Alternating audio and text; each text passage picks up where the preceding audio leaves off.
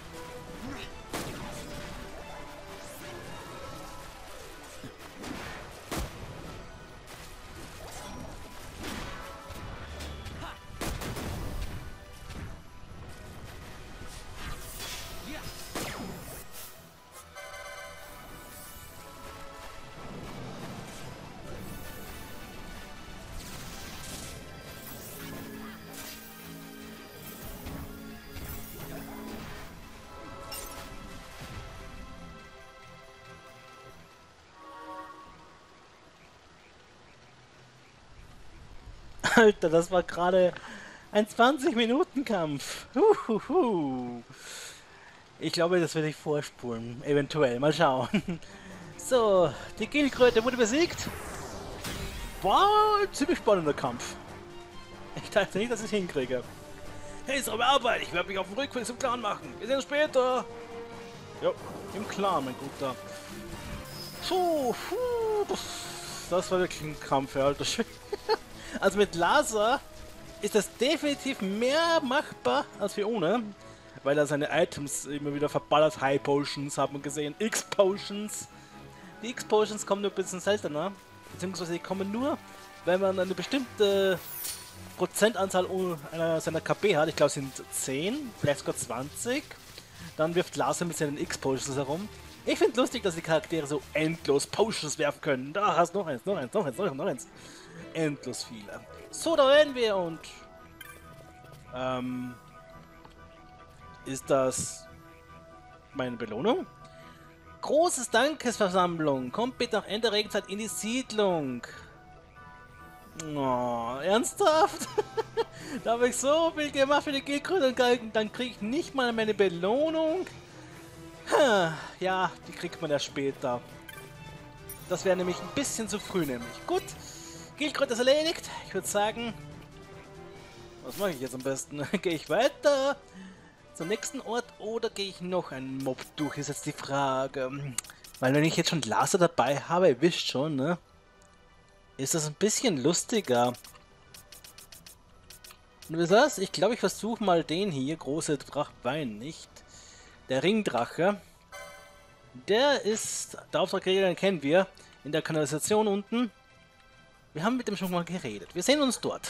So, da wären wir, mehr oder weniger. Hier irgendwo müsste der Auftraggeber sein, wenn ich nicht ganz daneben bin. Ah, fast.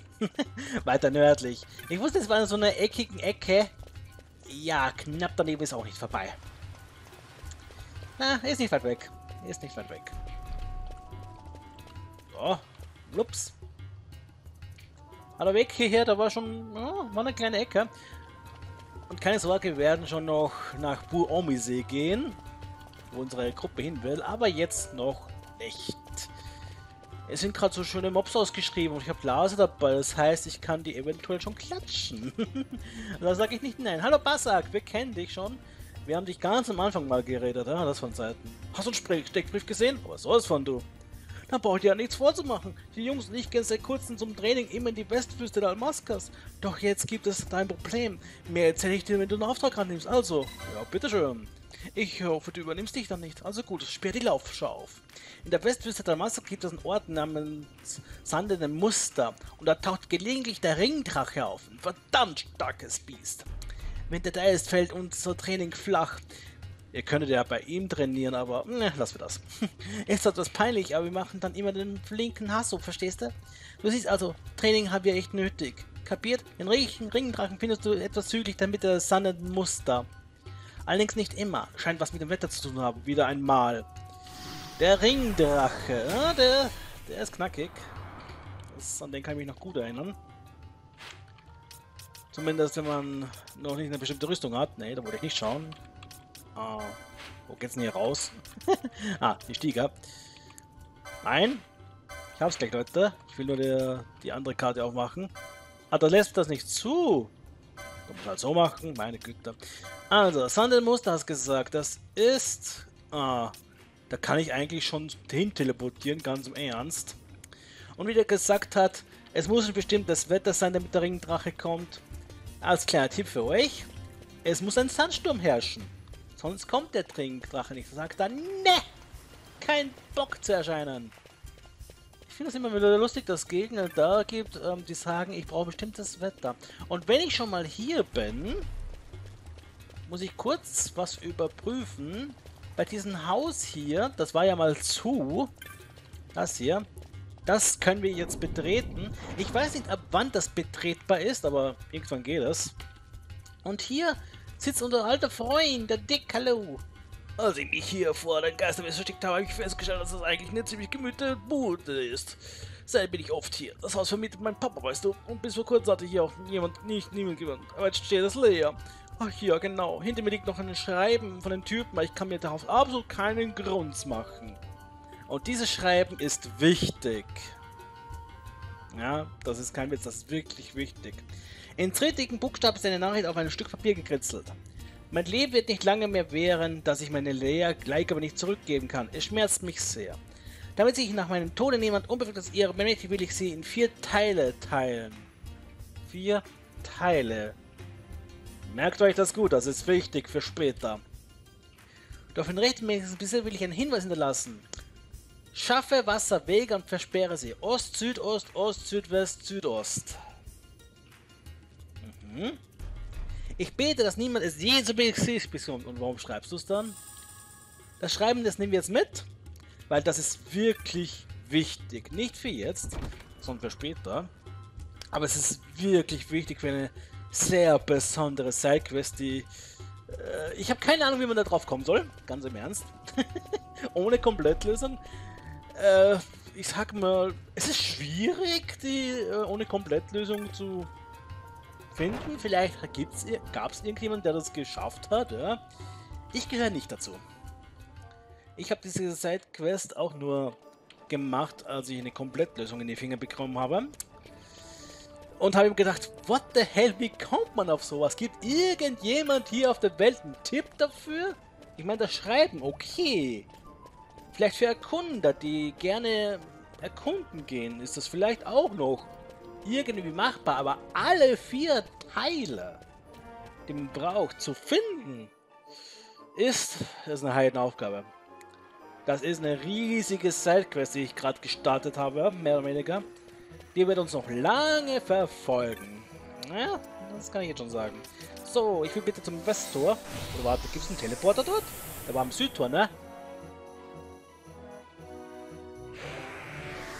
Mein Fehler. Aber ich glaube, bei uns B gab es auch einen Auftrag, ne? Ja. Wenn ich schon mal da bin. Ich bin mein Mogelnerven am Ende. Ein williger weißer Schleimbolzen hat ihn gefunden und rückt ihn nicht mehr heraus. weißer Schleimbolzen? Eine intime Angelegenheit, Kupo, die ich nur Auftrag nehme und in Auftrag gebe, Kupo. Also, ja. Kupo, es ist da, da, Dankeschön. Es ist so, der alte Dalan vertraute mir einen Schlüssel an, denn alle Mokri sind vertrauenswürdige Gesellen, Kupo. Defekt wie der Schlüssel war, brachte ich ihn auf Geheiß Opa Dalans, meinem Bruder, der ein glückliches Händchen für sowas hat. Opa Dalan Belohn war eine außen knusprige, immer, immer, was, aber innen luftiger Kupo-Biskuit.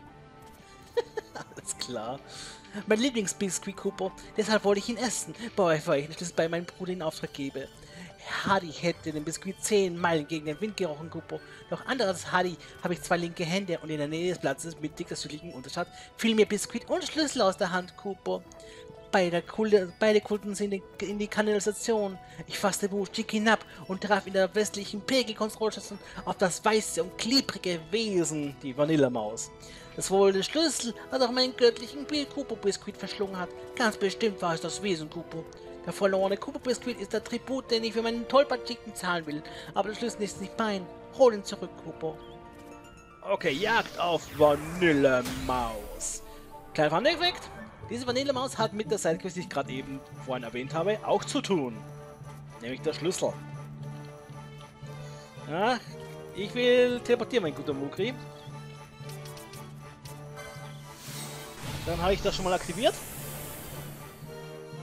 Und jetzt geht's auch zur Jagd auf den Ringdrachen. Ich weiß nicht, ob ich Vanilleschmaus jetzt schon schaffen könnte. Ich glaube nicht, nicht, weil das ist eine Stufe 5 Mob, ja. Ich bin jetzt gerade bei den Dreiern und die machen mir schon Kopfzerbrechen. Ja? Da bin ich wirklich überlegen. Also es gibt hier viele, viele Mobs. Manche sollte man erst später machen. Zum Beispiel die Stufe 5er. Obwohl man sie jetzt schon Auftrag nehmen kann, haben wir gesehen. Mehr als einmal. Aber die sind wirklich sehr schwer. Sehr schwer zu dem jetzigen Zeitpunkt.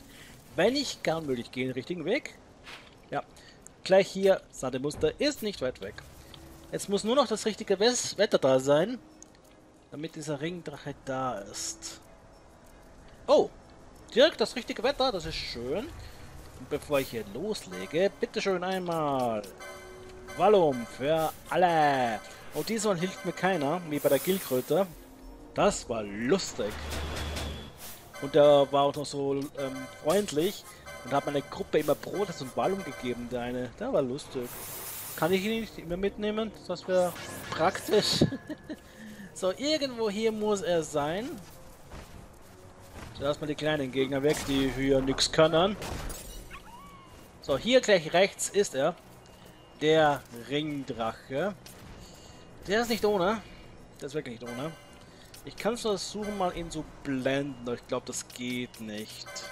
Weil der greift hauptsächlich physisch an. Das wäre zu einfach.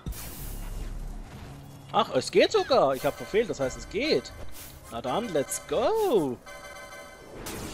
Und er kann Defixka, das heißt, dass ich mich nicht mehr bewegen kann. Ist ziemlich böse. Aber ich will nicht blenden, mein Freund. Ja? Das wäre ganz schnieke. So, er ist blind, gut. Und die Allraune da, die besiege ich mal so nebenbei. Die nervt nur. So. Ach, noch einer. Oh, alles wegzaubern hier. So, und jetzt wird's böse. Der Ringdrache, er ist nervig mit seinem Defixka. Also solange man ihn mit Magie angreift, ist es kein Problem. Der kann auch mit Feuer atmen. Oh, bis jetzt ein chilliger Gegner. Das kann sich aber sehr schnell ändern. Na, schauen wir mal, also ich ziehe nicht viel ab bei ihm, hat man, sieht man schon. Und er tut Ash mit zwei Schlägen K.O. schlagen, obwohl sie im Protestschutz äh, ist, ja. Das heißt, das, das würde sogar noch mehr Schaden machen. Also mit Laser geht das, glaube ich, ohne Umschweife. Das wird noch ein bisschen dauern wie bei der Gilkröte. Weil ich hier ein bisschen selber steuern muss, vor allem auch. Aber dein Defix kann mir nichts, mein Freund. Ist mir egal. Ist mir sowas von mir egal. Ja, Basch kann sich nicht mehr bewegen, aber er kann zuhauen, wenn er nah genug ist. Die einzige, die jetzt richtig zuhaut, ist Ash mit ihrer Magie. Oh ja. Falls sie ja nicht klar die MP leer sind. Ich finde diesen Stab, den sie hat, ziemlich cool. Alter, der haut zu. ja, der Ringdrache, wie gesagt, nicht unterschätzen, Leute. Der ist wirklich böse. Sein Defix geht zwar ein bisschen auf den Keks, aber ist nichts wirklich Großes. Und ich bekomme wenigstens keinen Schaden, den Schaden mache, wie bei der Killkröte. Das war nervig. Ah. Ja, wie gesagt, er ist ein sehr starker physischer Angreifer, aber mit Blind kann man das ein bisschen entgegenwirken. Nicht komplett. Ein bisschen. Das kann jetzt ein bisschen dauern, der hält nämlich viel aus, wie ihr seht. Und irgendjemand macht hier nur 65 Schaden. Ich glaube, das ist Ash. Ja, sind nämlich schon wieder DMP ausgegangen. Passiert da? Uh. Ah, bis jetzt nur nerviger Kampf, wie gesagt. Nichts wirklich Schweres. Und Basch, bitte schön einmal sammeln. Ich glaube, am besten ist hier eine magische Gruppe zu machen. Dann tut das Defix nämlich nicht so nerven.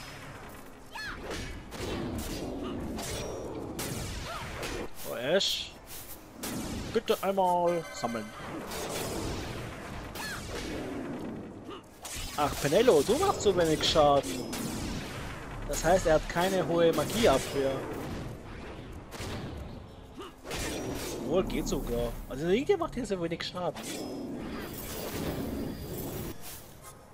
glaube, das ist wieder Ash. Das ist schon irgendwie ausgegangen. Ich achte da so selten drauf. Ich bin gewohnt, dass das Scampi selber macht. Mit dem, ähm, ja, bin wieder da. Puh, ähm, das wird noch ein bisschen dauern, wie ihr seht. Äh, heutige Part besteht nur aus zwei Kämpfen, mehr oder weniger. Uh, sein Atem, also der Feueratem, hat den Effekt Sturz. Das ist böse und er macht 1000 Schaden. Puh. Das hält halt gerade mal äh, Basch und Ash, wenn sie voll sind, aus, ja? Und nur dann. Also dieser Feueratem, wenn ich den Effekt Sturz macht und man ihn überlebt, äh, ja, der tötet mich instant. Wieder Feueratem. Hui! Gut, dass dieser Feueratem sehr oft daneben geht. Das könnte auch viel anders ausgehen hier. 1100. Das hält doch keiner aus hier. ja, er nicht mit der Fixgar macht, obwohl das wäre jetzt ziemlich nett. Würde mir ein bisschen Zeit geben hier. Ah, der Fixgar, kein Problem. Ich zauber einfach. Schön rein. Der Fixgar ist komisch. Vor allem der Sound davon. Dusch, als würde etwas Großes kommen. Dabei ist es nur nervige Magie. Ah, ihr seht, ähm, bis jetzt geht's noch. Vom Schwierigkeitsgrad her. Ach so, Lasa, du bist der, der zu wenig Schaden macht. Oder? Es ist schon schwer zu sehen. Oh, danke für die Heilung. Sage ich nicht nein. Also ich glaube, es ist Penello, die so wenig Schaden macht. Ich tausche ihn mal aus statt Fran. Fran, komm her! Du darfst mal zaubern! Mit, nicht Blitz, sondern Error. Dankeschön. Zwei Magier sind besser als einer. Fran hat noch volle MP, das heißt, die kann jetzt viel zaubern. Der fix du dir nix, weil sie ist nur auf Reichweite.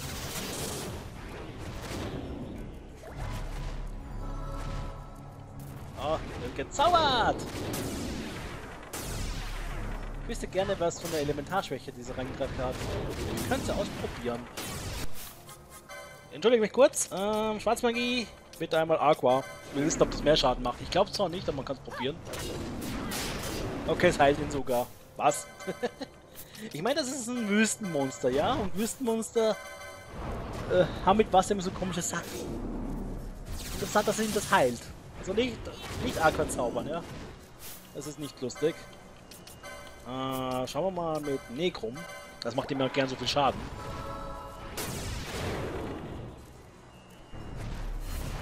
Na gut, weniger als wie Aero. Also Aero ist das Beste, was ich habe, glaube ich. Die Feuer-Eis-Blitz, das könnt ihr vergessen. Obwohl, Blitz müsste jetzt sogar verstärkt sein, weil sie den Blitzstab hat. Schauen wir mal. Schauen kostet ja nichts. Weil Analyse bringt ja nichts. Ich sehe ja nichts, was er hat, obwohl ich Analyse habe. 240! Wow! bemerkt, das ist äh, stärker als normal, ja? Und er kann sich auch noch heilen. Oh. Aber er kann sich nicht endlos heilen, soweit ich mich erinnern kann. Das wäre noch böser. Und scannen schon langsam den Peter von Franz gell? Aber es ein bisschen dauert. Puh. Kein schwerer Kampf, aber es dauert halt. Es dauert halt.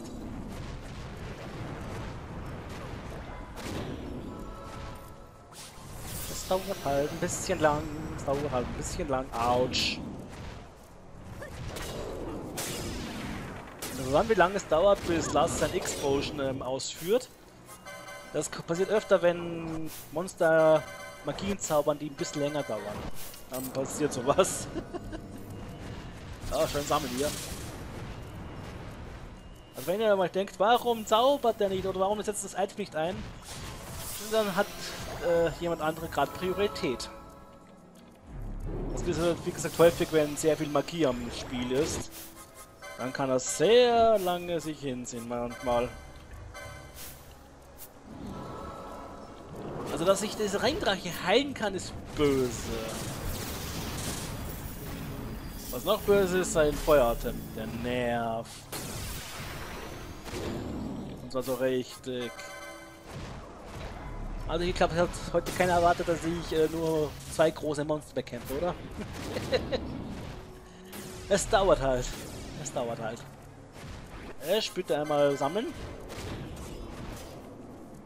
Ich würde gern äh, Scampi sagen, er soll sammeln, aber Scampi sagt, nö, das gibt's noch nicht. Das kriegt man ja später aus Gründen. Eigentlich brauche ich nicht teilen, oder? So gesehen nicht wirklich. Obwohl ich ich bleib mal sicher. Also ich will, über. Ich war gerade überlegen, ob ich Vitra rausnehmen soll aus dem Gambi. Äh, keine gute Idee, glaube ich. Ah, ohne MP wird das hier nichts. Schade, dass Sven sich nicht mehr auflädt, obwohl sie schon zwei Leisten hat mit MP. Und was? Er kann Konfus machen? Oh, ekelhaft. Konfus ist ein böser Zustand. Dann greift ihr nämlich äh, eure eigenen Teammitglieder an. Meistens nur physisch. Es kann auch magisch passieren. Also Konfus, sehr böser Zustand. Den gab es schon in früheren Final Fantasies, nicht nur in diesen hier. Der war bis jetzt immer sehr nervig. Ich könnte versuchen, Basch in den Zustand Berserk zu machen. Ich, ich versuche das mal. Ah, bitte. Was? Ich habe das nicht. Wartet. Ich habe doch die Schattenmagie. Ja, Tobsucht. Basch, bitteschön. Du darfst mal ausrasten. Tobsucht ist hier nicht ewig, leider. Also es ist zeitlich begrenzt, wie lange das geht. So wie die anderen Magien. Aus Valum, Protest und alles. Das macht dafür fast doppelt so viel physischen Schaden. Ich meine, 700 pro Schlag ist schon ordentlich. ja, bis er besiegt ist, dann ist es wieder weg. Also man sollte hier auseinandergehen immer. Das Problem ist, wenn jemand auf Berserk ist, dann kann man ihn nicht mehr steuern. Also man kann wirklich gar nicht mehr steuern. Der ist ja frei, sagen wir mal so. Weißt du was, Bisch, Basch, du darfst jetzt der Tobsuchtige sein hier. Ah, und wenn man sieht, Tobsucht kann auch daneben gehen. Da denken sie erstmal, was? Ja? ich weiß nicht warum das so ist, ja? Aber Tobsucht kann daneben gehen. Auf sich selber. Frag mich nicht warum, es ist einfach so. Wahrscheinlich wäre das zu OP, wenn es immer funktionieren würde. Hm.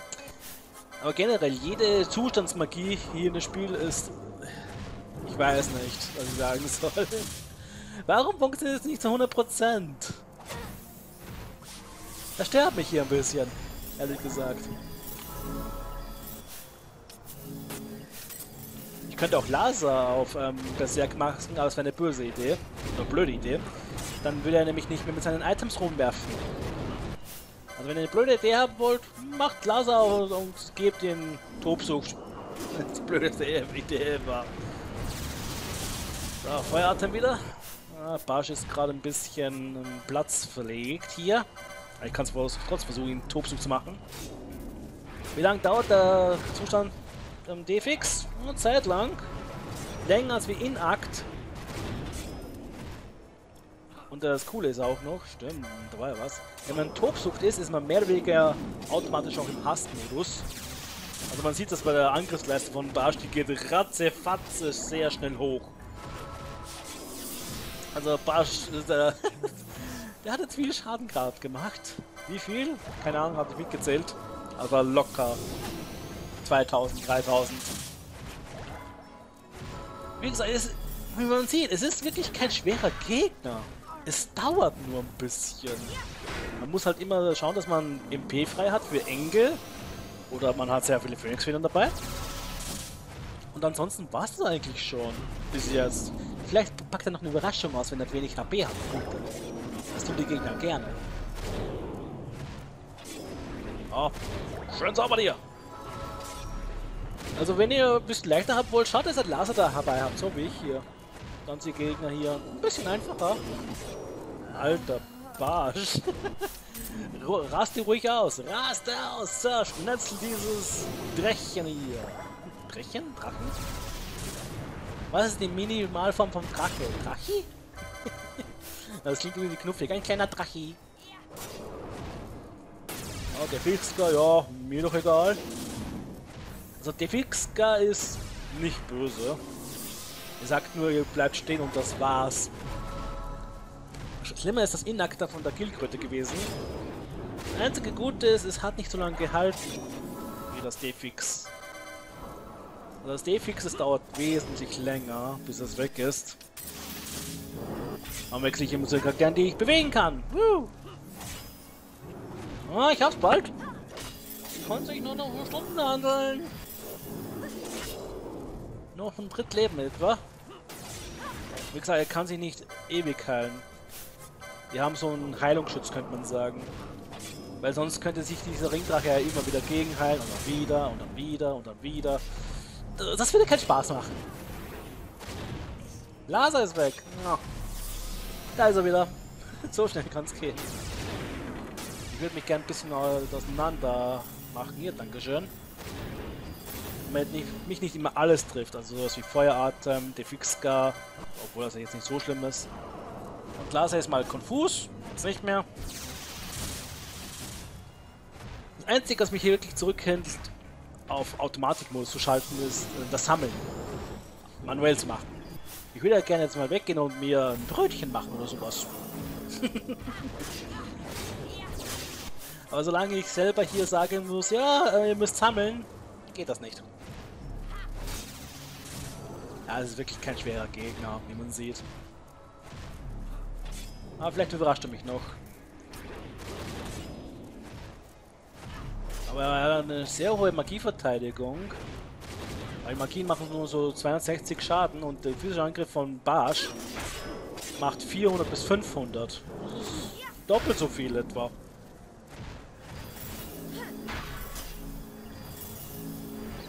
So.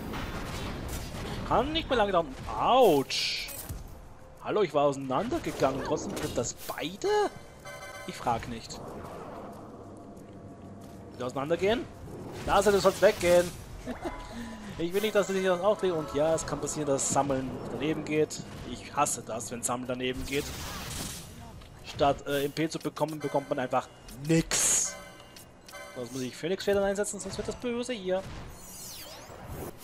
Danke. Dann du, Barsch, eine Phoenix-Feder auf Ran. Ich mache eine Phoenix-Feder auf Laser, bitteschön. Na, so schnell kann eure Truppe K.O. sein, wenn man nicht aufpasst. Gut, das ist daneben gegangen. Uh, gerade noch so ausgehalten. Schlag. Das war jetzt wirklich sehr knapp. Puh, ich hätte auch, ich habe zwar noch eine, die Reservegruppe, aber ich will sie nicht unbedingt einsetzen, wenn es nicht sein muss.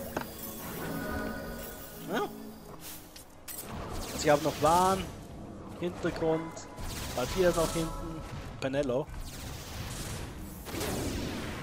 Aber solange sie nicht kämpfen müssen, muss ich sie ja nicht wechseln. Ah, schön reinhauen hier. Sagt er reinhauen. Was auch gut ist, immerhin etwas, dass die Wege für Zustände der Gegner auch nicht 100% sind, wie man gesehen hat. Also der Fixker macht hier auch nicht immer sein Ding. Zum Glück. Wäre böse, wenn es so wäre. Und auch unfair. Wenn das Spiel sagen würde, ja, bei den Gegnern ist es 100% Wahrscheinlichkeit, aber bei dir so äh, 20, 30 gefühlt. Wenn, manchmal sogar weniger.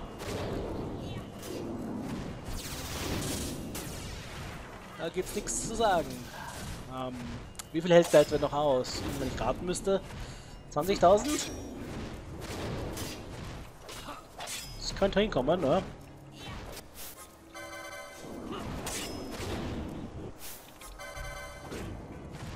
Das könnte etwa hinkommen. Ich könnte versuchen mit Limits, aber das ist noch zu früh, denke ich. Ich hatte das bei der Guildcode ja gemacht mit Limit. Weil die einfach so wenig Schaden bekommen hat am Ende. Das machen generell alle Gegner hier, wenn sie im roten Bereich sind. Wie recht jetzt fast schon hier. Da bekommen die so wenig Schaden. Das soll so eine Art, letzte Art Aufbäumen sein. So, nochmal, ich bin jemand, ja. Ich kann was, let's go. Es gibt auch ein paar Gegner, die sind richtig gefährlich im roten Bereich. Die kommen später. Auf die freue ich mich gar nicht. Eben weil die so böse sind danach. Ah.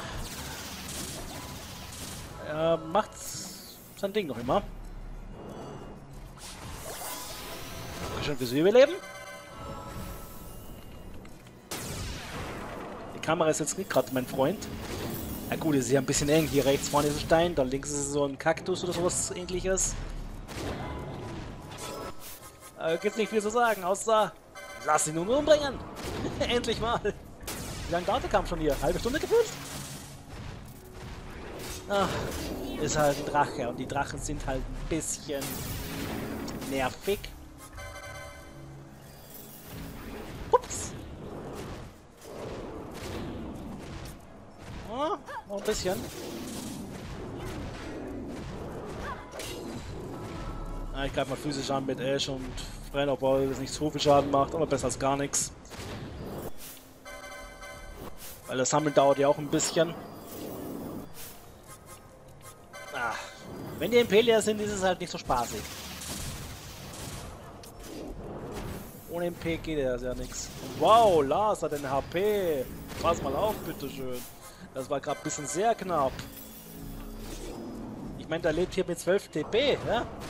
Das ist ja fast nix. das Gute an den X-Potions ist, die heilen euch komplett, egal wie viel HP ihr habt.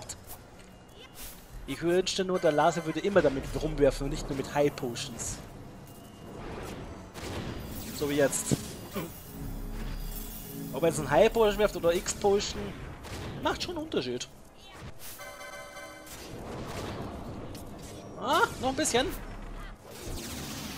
Noch ein bisschen mehr, noch ein bisschen mehr. Ich habe ihn gleich. Oh ja, ja. Also man sieht wirklich, der Ringdrache ist kein schwerer Gegner, mit Laser zumindest. Ihr könnt es versuchen ohne Laser. Dann habt ihr keine Items mehr als Heilung. Dann müsst ihr ähm, selber das machen. Ob das schwerer oder leichter ist dann? Hm, ich glaube ein bisschen schwerer, aber nicht wirklich viel. Kommt mir so vor, dass dort Ash immer sehr häufig verfehlt mit ihren Sammeln. Da kommt es auch nur so vor. Da sind alle im Dex-Fix-Modus. Ist mir relativ, wie man sieht. Stört mich nicht.